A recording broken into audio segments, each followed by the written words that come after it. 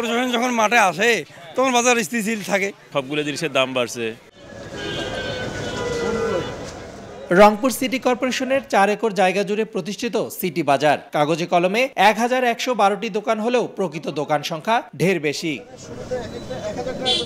কৃষি নির্ভর রংপুর অঞ্চলের স্থানীয় বাজার কতটা ভোক্তা বান্ধব তা দেখতে বাজারে হাজির স্বয়ং ভোক্তা অধিকার সংরক্ষণ অধিদপ্তরের মহাপরিচালক। সঙ্গে বিএসটাই এর মহাপরিচালক সহ স্থানীয় প্রশাসন। শনিবার সকালে দুটি দোকানকে অনিয়মের অভিযোগে এগারো হাজার টাকা জরিমানা করা হলেও একে অভিযান বলতে নারাজ ভোক্তার ডিজি। বলেন সমন্বিত প্রচেষ্টায় বাজার স্থিতিশীল রয়েছে। এ সময় রংপুরের বাজার দর নিয়ে সন্তুষ্টির কথা জানান বিএসটিআই এর মহাপরিচালকও। লোগো লাগিয়ে বিক্রি করছে বিএসটাই সিল। এটি একদম ভুয়া একটা সিল।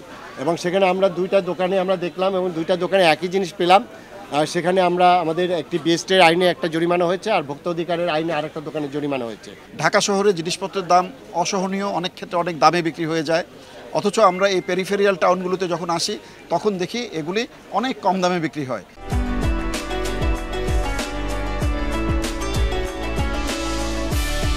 এদিকে রংপুরের নিত্যপণের বাজার দর নিয়ে বিএসটিআই এর মহাপরিচালক সন্তুষ্টির কথা বললেও ভোক্তারা শোনালেন অসন্তুষ্টির কথা। সবগুলো জিনিসের দাম বাড়ছে।